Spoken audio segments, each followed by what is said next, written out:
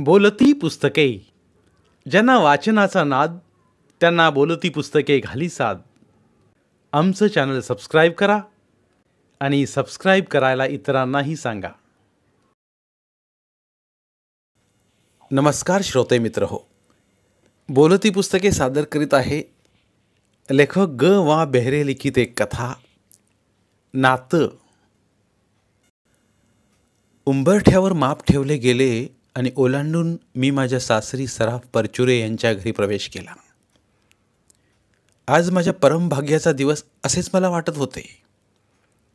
अठरा विश्वे दारिद्र्यात दिवस काढलेल्या मुलीला एवढे श्रीमंत आणि सुंदर स्थळ मिळाले याचा अभिमान वाटावा यात वावगे काय? या अभिमानात आणखी एक अहंकाराचा भाग होता. आम्हा मैत्रिणीत कांता बेनीवाले मोठी गर्विष्ठ होती. ती नेहमी आमच्या गरिबीची टवाळी करायची आणि भावी वैभवाने आम्हाला दिपवायची. कांताचे आईबाप श्रीमंत होते. तिला तसेच तोलामोलाचे स्थळ मिळणार होते. आम्हा बाकीच्यांना शिक्षक कारकून फारच तर ओव्हरसियर किंवा सेल्समन नवरा मिळायचा. डॉक्टर वकील इंजिनियर ही केवळ श्रीमंत मुलींचीच मिरासदारी. त्यांची आम्ही केवळ स्वप्ने करायची. कांताला मात्र ते स्वप्न सहज साध्य होतं.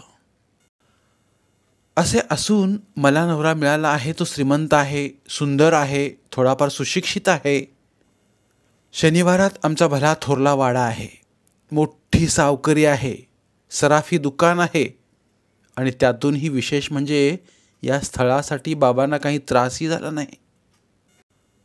हुंडा द्यावा लागला नाही पायपीट घडली नाही तुळशीबागेत आईबरोबर गेले होते. तेव्हा विनयादेवी पुरचुरेबाईंची गाठ पडली. त्यांचा रुबाब तर काही नाराज होता. भारी किमतीचे लुगडे नाकाला अमोल नथ गोरेपान स्वास्थ्यपूर्ण सुहास्य वदन. बरोबर तशाच दोन तीन बायका. मागे एक कुळंबीन थाट एखाद्या राणीचा जणू. बोलणं किती मंजूळ नाजूक थोडं नाटकी सुद्धा मला एकदम ती बाई आवडून गेली. मानाप मानातल्या अक्कासाहेबांप्रमाणेच वाटली ती बाई मला. मागे एकदा कॉलेजच्या गॅदरिंगमध्ये भामिनीचं काम केलं होतं. पण तेव्हाची अक्कासाहेब नाटकी श्रीमंतीनी ऐट दाखवू शकली नव्हती. ह्या बाईंनी केवळ स्टेजवर येताच अक्कासाहेबांची भूमिका खडी केली असती. लग्नात एवढी माणसं जमा झाली होती की त्यापैकी माझ्या सासरची कोणती पाहुणी कोणती हे मुळीच मला कळलंच नाही. या सुख सोहळ्यात मी अगदी गर्क होते. वडिलांच्या आणि आईच्या डोळ्यातले अश्रू मला दिसत नव्हते. माझ्या माहेरच्या सर्व प्रियजनांचा विरह मला दुखवत नव्हता. मी पाहत होते माझ्या प्रियकर पतीकडे. त्यांचे उमदे रूप डोळ्यात साठवत होते. त्यांच्या गौरवर्णाला सुखवस्तूपणाचे अगदी न्यारे तेज होते. आणि त्या तेजाला स्पर्श करण्याचे अप्रूप केवळ माझ्यापुरते आहे ही जाणीवच अहंकाराला जन्म देणारी होती. पुरुष या वस्तूविषयी मनात भयच होते पण तरीही एखाद्या पतंगाप्रमाणे त्या भयानक ज्योतीकडे मी ओढ घेत होते. मीच कशाला? साऱ्याच जणी. मला काय चमत्कार आहे ना?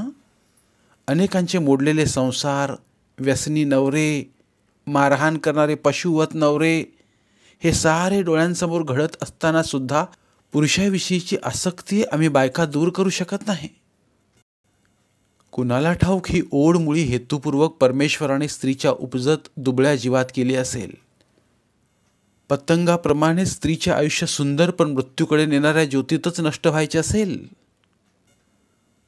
लग्नाच्या मंगलवेळी कसले हे मरणाचे विचार? या माझ्या स्नेहाळ नवऱ्याकडून मला दुःख लाभेल हाच विचार केवढा वेड्यासारखा? लग्नाची गडबड वाढत होती. लग्न झाल्यावर कौतुक मिरवणुकी पाहुणे यांच्यामुळे माझ्या नवऱ्याच्या मुखाकडे न्याहाळून पाहायलासुद्धा मला सवड झाली नाही. पण तिसरा दिवस उजाडला आणि सासूबाईंनी मला बोलावून सांगितले की आजच फळ शोधण्याचा विधी आहे. मी खूप ऐकलं होतं त्याबद्दल. स्त्री पुरुष एकत्र यावयाला हवी कशाला ही वडील माणसांची परवानगी? पण सारे काही आनंदात सुखात घडत होते. रात्र आली. वडिलांच्या ऐपतीनुसार त्याने आहेर वगैरे केले होते. पण त्यांच्या दारिद्र्याचा उच्चार पदोपदी होत होता. माझ्यावर उपकाराची भावना अधूनमधून उमटत होती. ती बोलणारी माणसं घरची होती की पाहुणी होती हे काही कळतच नव्हते. पण हे सत्य मला थोड्याच वेळात कळले. ही सारी माणसे घरचीच होती. काही दीर होते ननंदा होत्या पुतणे पुतण्या होत्या. आणि माझ्या दारिद्र्याकडे दुर्लक्ष करून मला या घरात आणले. याबद्दल सर्वांकडून मला सतत ऐकायचे होते. माझ्या नवऱ्याकडून अगदी पहिल्याच रात्री याचा उच्चार होईल अशी माझी कल्पना नव्हती. केवळ माझ्या रूपाकडे पाहून हे लग्न सर्वांचा विरोध मोडून काढून ठरविण्यात आले ही गोष्ट सांगताना माझ्यावरचे प्रेम किंवा रूपाचे कौतुक दिसले नाही. तर माझ्या परिस्थितीच्या मानाने आपण व आपले घर हे उजवे आहे याची दुःखद अहंकारी आणि अवमानित करणारी जाणीव झाली. दारिद्र्यात माझा जन्म केला आहे. अपमानाची थोडी सवय आहे मला. पण तरीही मधुचंद्राच्या रात्री आपल्या पत्नीच्या रूपगुणाचे कौतुक करावयाचे सोडून जो ग्रहस्थ तिला हिनवण्याच्या स्वरात आपल्याच गौरवाची कथा सांगतो त्याची किंमत माझ्या लेखी एकदम उतरून गेली. पण तेवढ्या एका शब्दानंतर त्यांनी यवन सुलभ सारे काही केले हं?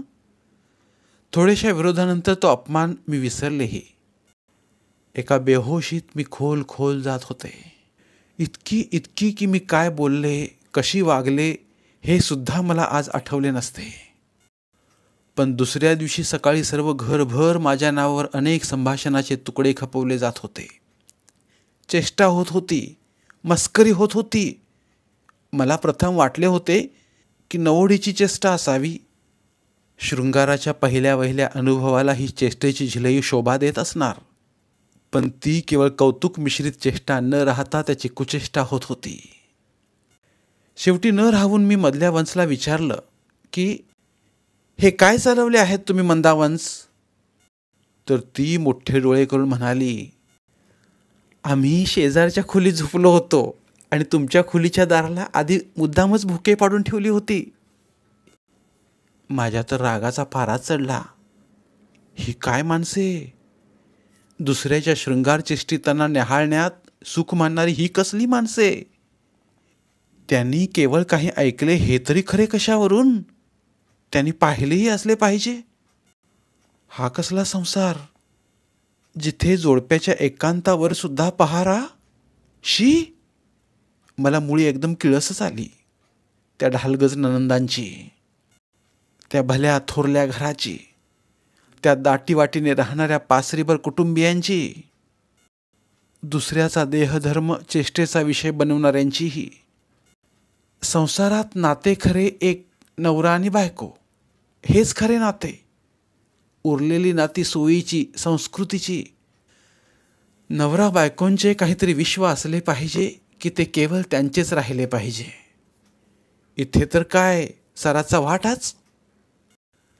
तोंडातून प्रेमाचा शब्द उमटायच्या आत सर्वांच्या मनोगाभाऱ्यातून त्याचे प्रतिध्वनी यायचे. आपल्या प्रियतम माणसाच्या स्पर्शापूर्वीच इथल्या सर्वांच्या अंगावर रोमांच उठायचे. आपल्या लाडक्याच्या ओठाचा चावा घ्यायच्या आतच सर्वांचे चित्कार कानावर यायचे. हा कसला संसार? हे कसले घर? हा तर केवळ गोठा? नर मादीला एकत्र आणावयाचे आणि त्यांना भूक घ्यायचा का? तर स्वतःच्या सोयीसाठी सुखासाठी लाभासाठी? आणि त्याचे किस्से गावभर करण्यात करमणुकीची मजा मानायची? वारे घर! त्या घराबद्दल वाटणारी भीती प्रेम अभिमान एकदमच गळून पडला. मग केवळ माझा झालेला सर्व पान उतार आठवला. निंदा आठवली. पुन्हा जेव्हा यांची गाठ पडली तेव्हा मी सारी मनाची तळमळ त्यांना सांगणार होते. पण तोंडातून शब्द निघेनात का त्यांच्या स्पर्शासाठी आसुसलेला देह त्यांच्याजवळ सरकेच ना? हलक्या आवाजात ते म्हणाले काय झाले? ये ना रमा. ये. नको. का? इतक्या उघड्यावर नको. उघड्यावर म्हणजे? अगं दारं खिडक्या तर सर्व बंद केल्या आहेत. दाराची भोके. ती कशी बंद करणार? तर मग सर्वांसमोर तुमच्याशी शृंगार करायला मला कुत्री मांजरी समजता तुम्ही? पण दिवा मालव फार तर. अंधारात काय त्यांना ऐकू जात नाही? मग त्याला काय करायचं? चुरून परस्त्री पुरुषांचा शृंगार ऐकणाऱ्यांचे कान तर फोडता येतील. म्हणजे? तुमच्या त्या बहिणी हा सारा किस्सा ऐकत पाहत आहेत. तो बंद केला तर माझ्या अंगाला हात लावा. नच्चपेक्षा मी तुमची कोणी नाही. त्या माझ्या मात्रीवर त्यांनी काही करावे अशी माझी अपेक्षा होती. पण त्यांनी काही करायच्या ऐवजी पांघरून घेतले आणि चक्क पाठ फिरवून डोळे मिटून घेतले. आणि त्याच सुमारास बाहेरून अगदी अस्पष्ट असा तुच्छतादर्शक हास्याचा आवाज आला. हे पहा मी त्यांच्या अंगावरचे पांघरून काढून टाकीत म्हणाले अगोदर आपल्याला चांगली बंदिस्त खोली मिळवा. पण अशी खोली आहे कुठे या घरात? मग असेच चालायचे की काय जन्मभर? त्याला काय झालं? दिवा मालवायचा आणि आवाज मुळी करायचाच नाही. असंच चाललंय आजवर. म्हणजे या घरात केवळ कुत्री मांजरी राहत होती आजवर. शृंगार म्हणजे काय ते कळतंय का तुम्हाला? एवढे पडलात शिकलात? बायको म्हणजे काय पलंग वाटला तुम्हाला? तिला काही बोलायचं असेल सांगायचं असेल ऐकायचं असेल असं नाही वाटत? केव्हा बोलायचं हो तुमच्याशी? बाकी बायकोशी काय बोलायचं? तिला काय विचारायचं? रात्री अपरात्री क्षण दोन क्षण आले शिनवटा घालवला की बायकोची गरज संपली? कशाला तुम्हाला गैरसोय वाटेल या स्थितीत उलट बायकोची खुशामत करायला नको. तेव्हा ही परिस्थिती तुम्हाला सुखावहच. रमा फारच उलट बोलते आहेस बरं का तू रमा? या घराच्या रीती या अशाच आहेत. दादाचं लग्न झालं.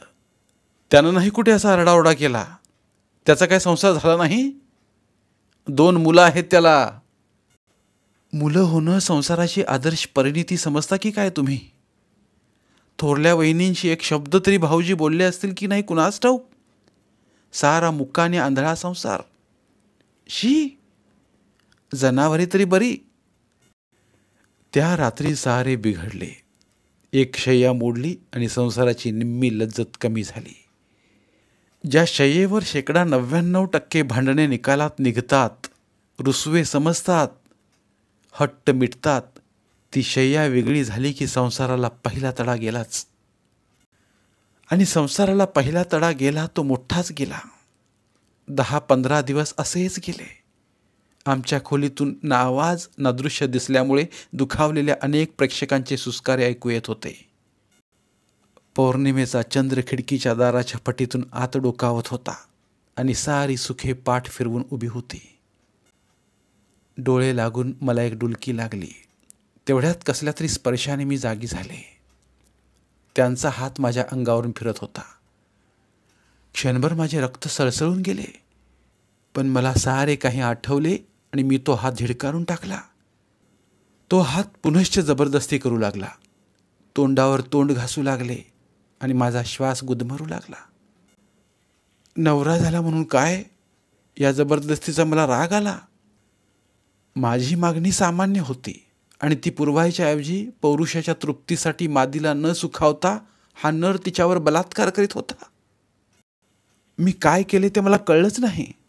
पण एक किंचाळी नंतर घरादारात एकच धावपळ दाराची धडपड मग दिव्याच्या प्रकाशात घरातील मोठी माणसे जमलेली दिसली. मी ह्यांच्याकडे पाहिले. त्यांचा गाल रक्ताने माखलेला दिसला. बहुशा मीच चावलेली असणार. काही दिवस धुसभुशीत गेले. चेष्टेच्या नवनव्या फेऱ्या घडल्या होत्या. उपमर्दाचे पारडे अधिक जड झाले होते. सासूबाईंना मी माझी अडचण सांगायचा यत्न केल्यावर त्या एवढ्या तुच्छतेने हसल्याने म्हणाल्या राजा राणीचा संसार करायचा तर दुसरे घर बघा. हो इथे हे असेच चालायचे. रात्री मी स्वारी घरी येई तो जागीच राहिले. कारण त्या प्रसंगापासून स्वारी दुकानातून उशिराच घरी येई. झाल्या प्रसंगाची सारवासारव त्यांनी खुबीने केली. तरी आम्हा नवरा बायकोचे भांडण घरभर झालेच होते. रात्री अकराच्या सुमारास जेव्हा स्वारी आली तेव्हा मी नित्याप्रमाणे गुडूप पडून न राहता दिवा ठेवून बसले होते. ते येताच मी त्यांच्याशी बोलायचे ठरवले होते. मला तुमच्याशी बोलायचे काय? आपण निराळे बिराड करूया. काय म्हणालीस? होय. निराळे बिराड तुमचे माझे घर. जिथे मी तुमच्यासाठी दोन पदार्थ करीन तुमच्या कपड्या लत्त्याची व्यवस्था बघीन. तुमची सेवा चाकरी करून तुम्हाला सुखी करीन आणि तुम्हीसुद्धा आपल्या जोडीदाराला सर्व सुखे उजळ माथ्याने देऊ शकाल. या कोंडवाड्यात या शे पन्नास माणसांच्या गोठ्यात मला मुळीच हे घर आपलं वाटत नाही. स्वयंपाक आणि स्वयंपाक करायचा मास्तरांनी मुलांना शिकवायचे मग आम्ही बायकांनी काय करायचे? काही केलंच पाहिजे का? होय. मनुष्याच्या जन्माला आले तर काहीतरी अवश्य केलं पाहिजे. या घरातून वेळी अवेळी बाहेर पडायचं नाही नोकरी करायची नाही चाहटळ म्हणून कथा कादंबऱ्या वाचायच्या नाहीत नवऱ्याबरोबर हिंडायचंही नाही नाटक सिनेमाचे बोलूच नका. तिन्ही त्रिकाळ फक्त खायचे आणि परस्परांच्या कुचेष्टा करीत लोळत पडायचे. शी शी. यावर उत्तर आले नाही. मी तुम्हाला निक्षून सांगते इथे मी राहणार नाही. हे घर सोडायचे आपण. पण बाबांना आवडणार नाही आजोबांना आवडणार नाही. त्यांच्या आवडीचा संबंध काय? लग्न मी तुमच्याशी केलंय. पण म्हणून आईबापांची मर्जी नसताना काय म्हणून असं वागायचं? बायकोसाठी तिला सुख स्वास्थ्य हवे म्हणून. पण घर सोडून मी काय करू? घर सोडल्यावर संसार चालवायचा कसा? हो घर सोडायला सांगते म्हणजे काही तुमच्या माणसांना सोडायला सांगत नाही मी. याच गावात आपण एखादी छोटी जागा पाहू. कधीमधी इथंसुद्धा येऊ आपण. तुम्ही दुकानात जात जा. तुमच्या माणसांचा अनादर मुळीच करायचा नाही मला. आणि घर सोडून त्यांची नाचक्की केल्यावर जर त्यांनी मला सांगितले की दुकानात सुद्धा यायचं नाही तर? पण काही करून पाहाल का? उगाच शंका काढाल. आणि शिवाय सांगितले तर तुम्ही काय आंधळे पांगळे आहात? का मुके बहिरे आहात? तुम्ही चांगले बिये आहात. कुठेही नोकरी करा. नोकरी? मी? सरा परचुरांच्या मुलाने? अरे राम! नोकरी करण्यात शरमण्याचे काय कारण? या घटकेला तुम्ही करता ही सुद्धा एक नोकरीच नाही का? तुम्हाला जेवायला खायला आणि कपडे लिहायला देऊन तुमच्याकडून नोकरीच घेतात म्हटले ही मंडळी? स्वतःच्या व्यवसायात? तुमचा जर तो व्यवसाय आहे तर मग तुम्हाला जा म्हणून सांगणारे सोकाजीराव कोण हे? हतबुद्ध होऊन गोविंद सावध झाला. अखेरी तो एवढंच म्हणाला. बघूया. या एका बघूया शब्दासरशी माझा त्यांच्याविषयीचा राग तर कुठेच वितळून गेला. आणि एका अनावर उर्मीने ती जागा घेतली. सुखाचे चार दोन घोट घेतल्यामुळे सुखाची चव तोंडात होती. पण सुख मात्र दूर झाले होते. त्या सुखाच्या आसक्तीने अंग हलके झाले. एक नवीच जाणीव गात्रांना फुटली. आपोआप हात दिव्याकडे गेले आणि दिवा बंद झाला. मला खरोखरीच माझ्या नवऱ्याला तृप्त करायचे होते. माझ्या गट्टीत घ्यायचे होते. त्याच्या माझ्या दुनियेचे स्वप्न त्याला मोहविल असे करायचे होते मला. माझ्या आकर्षणाचा कोट त्याच्याभोवती बांधायचा होता. मी तर जळत होतेच पण जळणाऱ्या त्याच्या वासनेला मला विझवायचे होते. या सुखात त्याला गुंतवून त्याचे मन मला या घरातून काढायचे होते. एक शालीन घरंदाज मुलगी स्त्री पुरुष संबंधात एवढा पुढाकार घेऊ शकते का हो? मला वाटत होते माझे वागणे वेड्यागतच आहे. पण मला हेही पटले होते की जे जे मी माझ्या स्वारीला देईन त्या त्या प्रत्येक क्षणाने त्याला मी कब्जात घेत असेन. मी घाई करू दिली नाही. स्वतः तर अर्थातच केली नाही मी. यापूर्वी आम्ही जे जे केले ते खरे म्हणजे घडले. त्यात कर्तृत्व असं कुणाचंच नव्हतं. या क्षणाला घडत होते घडणार होते त्यात दोन जीव सामील होते. गोविंद देखना होता असे मला दिसले होते. पण तो राजस होता हे आता अनुभवता येत होते. त्याच्या स्पर्शाला अर्थ येत होता. पुरुषांकडून लाभायचे सर्व स्पर्श अंगभर मिळत होते आणि त्या स्पर्शाच्या उभेत देह विरघळत होता. अंधार होता तरी मला सारं दिसत होतं. तो माझ्या वक्षावर रेलला होता तेव्हा त्याच्या अंगाची लव मला हुळहुळायला लावत होती. एखाद्या जादूच्या किमियेने मी भारावून जात होते. विरोध लटके वाटत होते. राग फिका वाटत होता. स्त्री पुरुष संबंधाला केवळ शरीर सुखाचा अर्थ आणतात ते नतद्रष्टच. आपण उंच उंच जात आहोत. कदाचित या समाधीत आपण विरघळून जाऊ ही जाणीव केव्हाही भाग्याची. सुखाचे ते आवर्तन संपले. गोविंदाच्या उघड्या मिठीत मी गुदमरून सुखावत होते. मला कृतकृत्य झाल्यागत वाटत होते. माझा नवरा मी खऱ्या अर्थाने मिळवला असे वाटत होते मला. पण सकाळच्या उजेडाने रात्रीच्या साऱ्या सुखाला माती मोल केले. सकाळी उठताच मी गोविंदला आठवण केली. आजच विचारायचं हं मामंजीना काय? इश्य विसरलाच वाटतं? वेगळ्या बिराडाबद्दल? इतक्या घाईने नाही जमायचे. का? वाटते तितकं सोपं नाही हे. बाबांना ते आवडणारही नाही. त्यांच्या कलाकारानेच घेतलं पाहिजे. मी औंडा गिळला बोलू शकलेच नाही काही मी. पण थोडे म्हणता आठ दहा दिवस उजाडले. पुन्हा प्रश्न निघाला तेव्हाही थोडे थांबण्याचीच विनंती. अखेर कंटाळून मी म्हणाले आज मीच मामंजींना विचारते. काय? तू? मग काय करणार?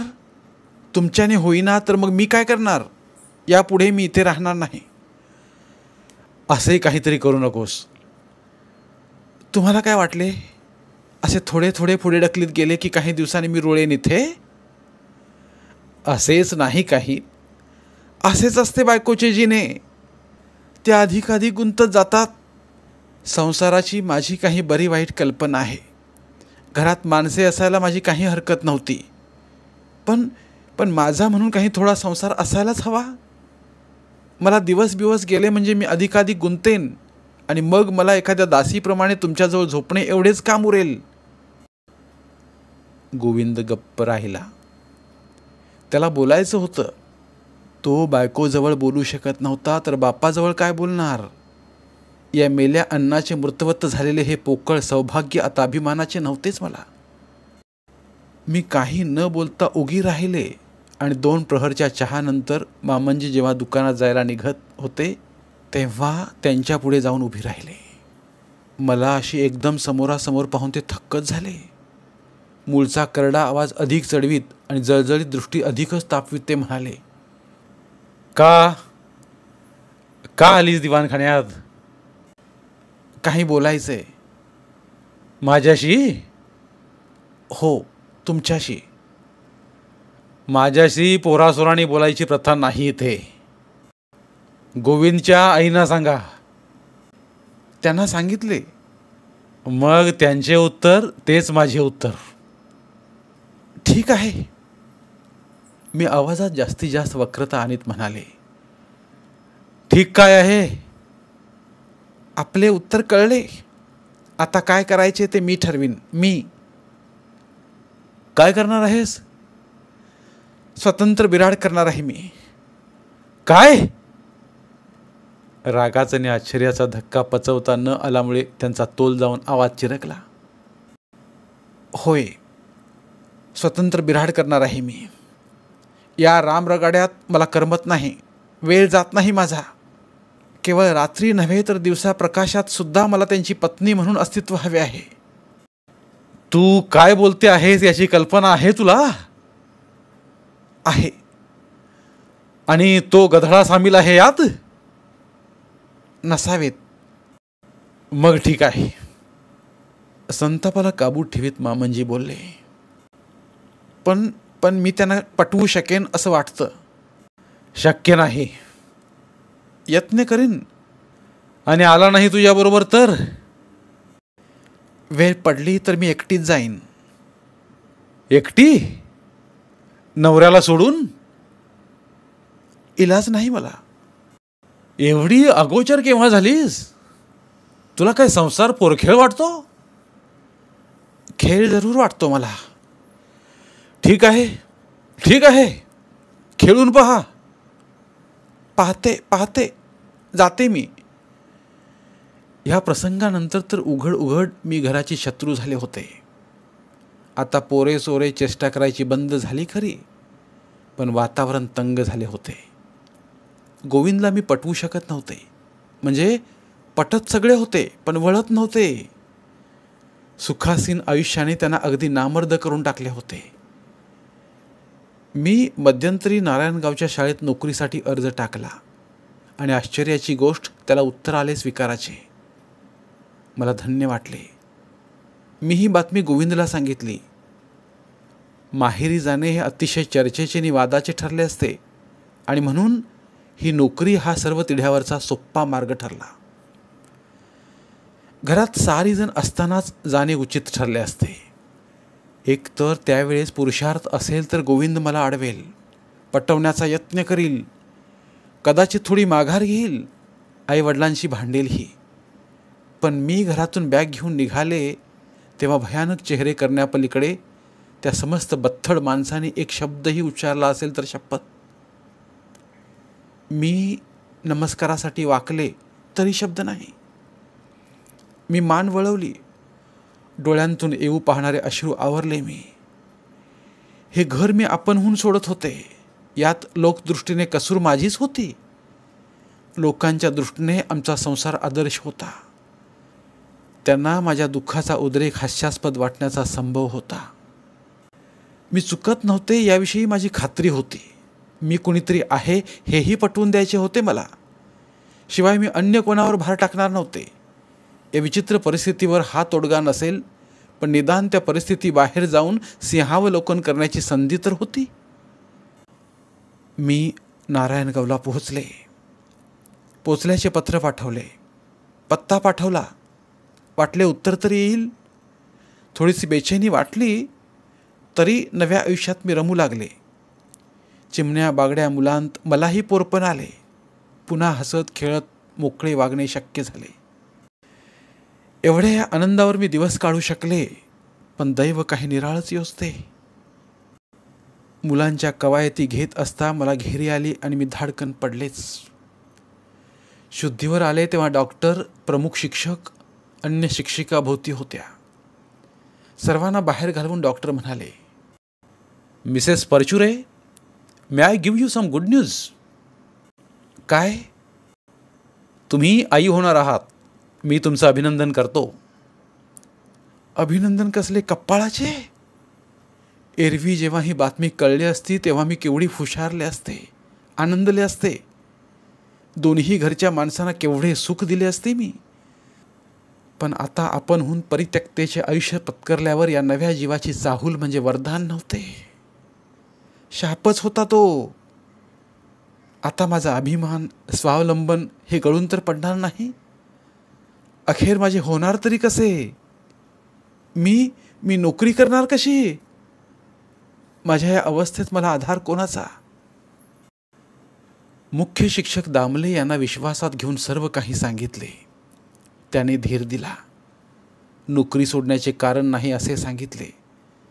सांभाळून घ्यायचेही आश्वासन दिले. त्यांच्या सांगण्यावरून मी गोविंदला पत्र पाठवले. पत्राचे उत्तर ताबडतोब आले. पत्र कौतुकपर होतं. घरी यायची विनंती केली होती त्यांनी. पैसे पाठवायचे आश्वासन होते आणि थोरल्या मामंजींना पंतू झाल्यामुळे सर्वजण आनंदात असल्याचा दिलासाही होता.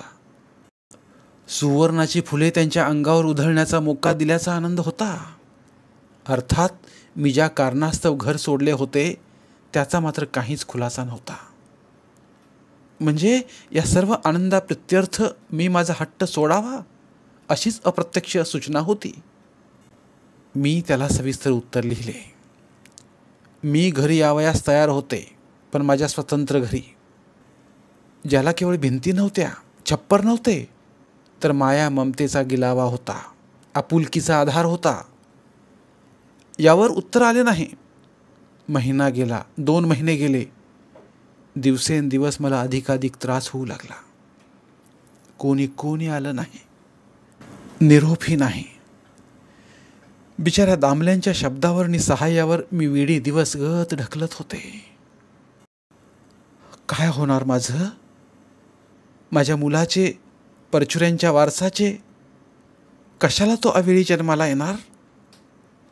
पण एक दिवस सूर्याबरोबर तो तेजस्वी अंकुरही जन्माला आला. मी आई झाले ही गोष्ट माझ्या अंतकरणाला अजून पटली नाही. ते नाते मला अजून खरे वाटत नव्हते. ज्याचे बीज मी जोपासले वाढवले जन्माला घातले त्याचे माझे नाते उरले नाही. तर मग त्याच्या अंकुराचे आणि माझे कसे उरावेत? मी नसते तर दुसरी कोणीतरी स्त्री असती? कुस कोणती याला महत्त्व काय? नर मादीचे नाते जिथे संपले तिथे उरले काय? हे म्हणे माझे मूल मी त्याची आई या नात्याला मला अर्थच वाटे ना मी निमित्त मात्र आहे असं मला वाटे. मला वात्सल्याचे भरते येईच ना. मला गोविंद समोर दिसू लागे. त्याचे माझे नाते हवेत विरून गेले. मग हे लादलेले नाते कुठले? कुठले? दुपारचे बारा वाजले होते. बाळ अकस्मात रडायला लागला. दाईने पुढ्यात आणून ठेवले. मी स्तन त्याच्या तोंडात दिला. मला पानाच फुटे ना. आणि माझ्या मनात विचार आला याचा याचा बाप काय करीत असेल?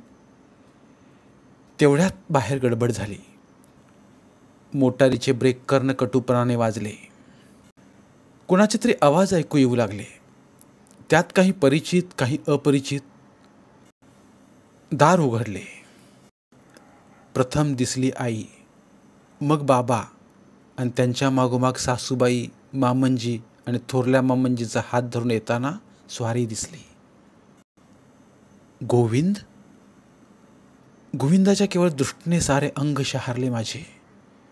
साऱ्या आठवणी गोळा झाल्या. स्तनाशी तो झगडतो आहे असं वाटलं. सर्वांसमोर कसला मेलाचा हटळपणा करतोय असं वाटलं. पण अकस्मात माझा पाना फुटला. आई जागी झाली. नाते जागे झाले. मग मग काय झाले काय घडले हे सांगायच्या मनस्थितीत मी या घटकेला तरी नाही एवढं खरं. बायकोचे नाते मान्य झाले. उरली नाती ही आपोआप आली. समोरचा मांसाचा गोळा माझं पाडस आहेस अंतर्यामी पटलं आणि माझ्या साऱ्या साऱ्या दुःखाच्या काळात एक सुखाची धार कोसळली. धन्यवाद. पुन्हा भेटूया एका नवीन कथेसह. मराठीतील प्रतिभावंत लेखकांचं साहित्य कथा कादंबऱ्या ऐकण्यासाठी आमचं बोलती पुस्तके हे चॅनल सबस्क्राईब करा. आणि मराठी साहित्याचा प्रसार करण्यासाठी प्रत्येक मराठी माणसाला सबस्क्राईब करण्यासाठी आवाहन करा. आणि बोलती पुस्तके या साहित्य चळवळीत सहभागी व्हा. आपले पुन्हा एकदा धन्यवाद.